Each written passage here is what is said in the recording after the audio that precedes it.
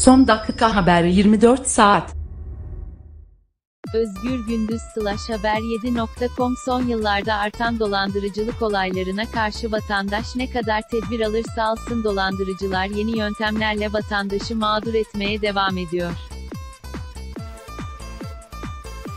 Özellikle son dönemlerde GSM operatörleri üzerinden dolandırıcılık moda olmuş durumda.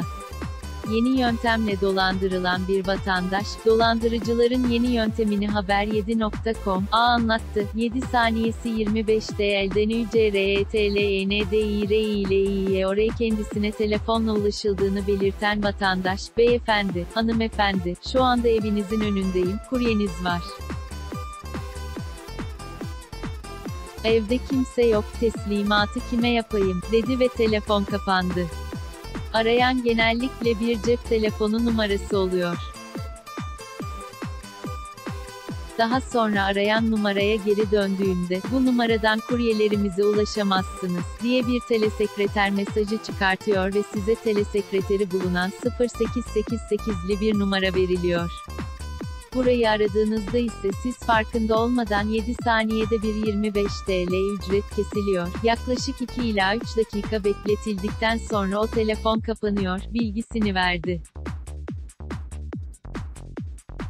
Eşini de aramışlar telefonu kapattıktan sonra 0800'lü bir numaradan telefonunuza gelen bir mesajla şok olduğunu belirten vatandaş, mesajda aramamın 7 saniyesinin 25 TL'den ücretlendirildiğini ve bunun telefon faturama yansıtılacağını öğrendim, dedi.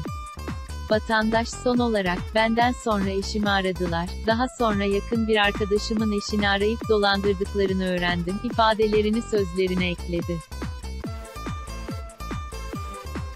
3 dakikada 642 TL'lik fatura bu yöntemle mağdur olan vatandaşlar daha sonra GSM operatörlerine ulaşarak durumu anlatım kendilerine yardımcı olmaları talebinde bulunmalarına rağmen, GSM operatörleri bu konuda herhangi bir işlem yapamayacaklarını belirtiyor.